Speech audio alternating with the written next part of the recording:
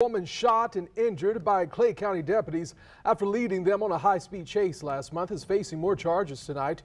Jail records show Tammy Saucier is now also charged with three counts of credit card fraud. According to the arrest report, the principal of Doctors Inlet Elementary told police the school board found several suspicious purchases during an audit. Those purchases were at several Walmart stores, Publix, and Home Depot, totaling up to more than $1,700. At the time, she was a bookkeeper at the school, and the principal says she made up reasons for the purchases.